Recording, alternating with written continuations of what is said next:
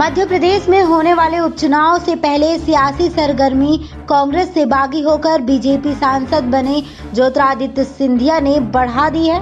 सिंधिया ने ट्विटर पर एक पोस्ट किया है, जिसको लेकर अपने अपने कयास लगाए जा रहे हैं। हालाँकि माना जा रहा है कि सिंधिया पर लग रहे आरोपों के जवाब में उन्होंने ये ट्वीट किया है। इससे पहले सिंधिया ने एक पोस्ट में सिर्फ़ टी लिखा था। कुछ देर बाद पोस्ट हटा ली गई। इसके बाद फिर एक ट्वीट किया, जिसके बाद से मध्य प्रदेश उपचुनाव से पहले सियासी सरगर्मी तेज हो गई है। बता दें कि राज्यसभा सांसद ज्योतिरादित्य सिंधिया पिछले तीन दिनों से ग्वालियर और चंबल में ताबड़तोड़ भूमि पूजन और शिलान्यास कर रहे हैं। सिंधिया ने एक ट्वीट किया, जिसमें सिंधिया ने सिर्फ़ टी लिखा था।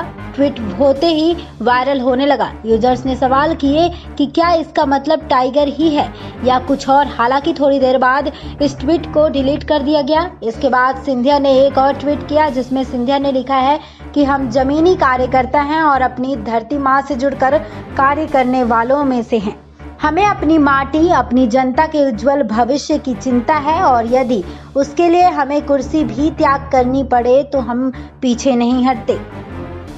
माना जा रहा है कि सिंधिया ने ट्वीट कर कांग्रेस के उन सवालों का जवाब दिया है, जिसमें अक्सर कांग्रेसी उन पर आरोप लगाते हैं कि पद और पैसे की लालच में सिंधिया व उनके समर्थक विधायकों ने पार्टी छोड़ी थी। बता दें कि पूर्व मुख्यमंत्री व प्रदेश कांग्रेस कमेटी के अध्यक्ष कमलनाथ इसको लेकर कई बार सिंधिया की नैतिकता पर सवाल उठा चुके हैं।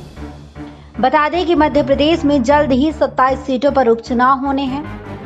बता दें, बीजेपी सांसद ज्योतिरादित्य सिंधिया ने ट्विटर पर एक पोस्ट किया है जिसको लेकर अपने अपने कयास लगाए जा रहे हैं। हालाँकि माना जा रहा है कि सिंधिया पर लग रहे आरोपों के जवाब में उन्होंने ये ट्वीट किया है। बता दें कि मध्य प्रदेश में जल्द ही 27 सीटों पर उपचुनाव होने हैं। ऐसे में सभी पार्टियाँ चुनाव की तैयारियों में लगी हुई हैं।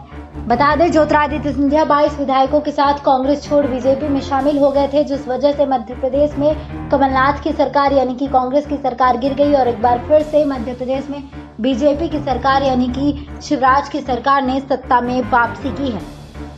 ऐसे में मध्य प्रदेश में 27 सीटों पर उपचुनाव होने हैं।